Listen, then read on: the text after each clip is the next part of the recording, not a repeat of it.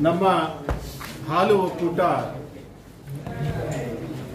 ಪ್ರಾರಂಭವಾಗಿ ಸುಮಾರು ಮೂವತ್ತ್ಮೂರು ಮೂವತ್ತ್ನಾಲ್ಕು ವರ್ಷಗಳಲ್ಲೇ ನಾವು ಉತ್ಪಾದಕರಿಗೆ ಹಾಲಿಗೆ ಇವತ್ತು ಹೈಯೆಸ್ಟ್ ರೇಟನ್ನು ಕೊಡ್ತೀವಿ ಹೇಳಲಿಕ್ಕೆ ನಮ್ಮ ಒಕ್ಕೂಟದ ವತಿಯಿಂದ ತುಂಬ ಸಂತೋಷವಾದಂಥ ದಿನ ಹಾಗೂ ಸಂತೋಷವಾಗ್ತಾ ಇದೆ.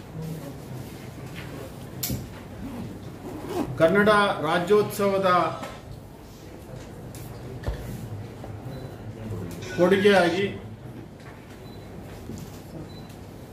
ನಾವು ಇವತ್ತು ಹಾಲು ಉತ್ಪಾದಕರಿಗೆ ಎರಡು ರೂಪಾಯಿಯನ್ನ ಪರ್ ಲೀಟರಿಗೆ ಜಾಸ್ತಿಯನ್ನ ಮಾಡಿದ್ದೀವಿ ಈ ಹಿಂದೆ ಇದ್ದಂಥ ಒಕ್ಕೂಟದಿಂದ ಸಂಘಕ್ಕೆ ಕೊಡುವಂಥ ಹಾಲಿನ ಬೆಲೆ ಮೂವತ್ತು ರೂಪಾಯಿ, ಆರು ಪೈಸಾ ಇತ್ತು.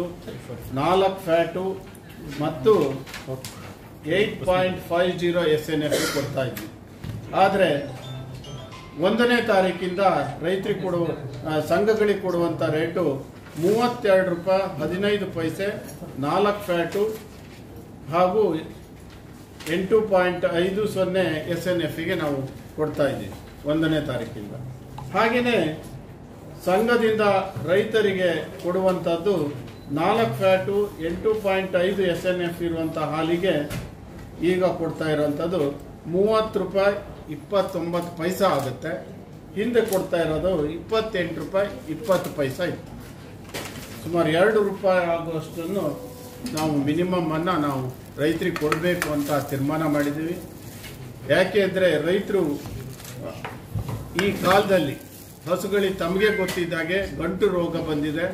ಅದರಿಂದ ತುಂಬ ತೊಂದರೆಯಲ್ಲಿ ಇವತ್ತು ಹಾಲು ಉತ್ಪಾದಕರಿದ್ದಾರೆ. ಜೊತೆಗೆ ಈ ವರ್ಷ ಹೊಯ್ದಂಥ ಮಳೆ ತಮಗೆಲ್ಲ ಗೊತ್ತಿದೆ. ಅತ್ಯಧಿಕವಾಗಿ ಮಳೆ ಬಂದಿದ್ದರಿಂದ ಬೆಳೆನೂ ಆಗಲಿಲ್ಲ, ಜೊತೆ ಜೋಳದ ಕೊರತೆನೂ ಆಗಿದೆ.